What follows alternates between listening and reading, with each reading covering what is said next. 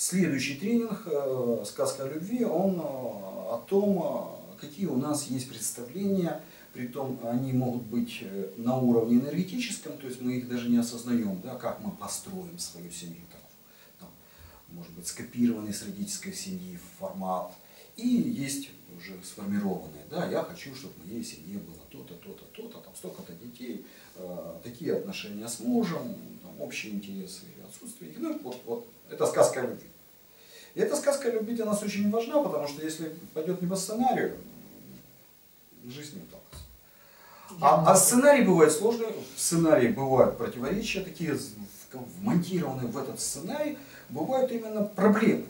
То есть в нем монтирована возможность того, что мы будем ссориться, того, что мы будем там злиться друг на друга, и вот эта сказка э, превращается в ужасную, в триллер, иногда таким грустным концом.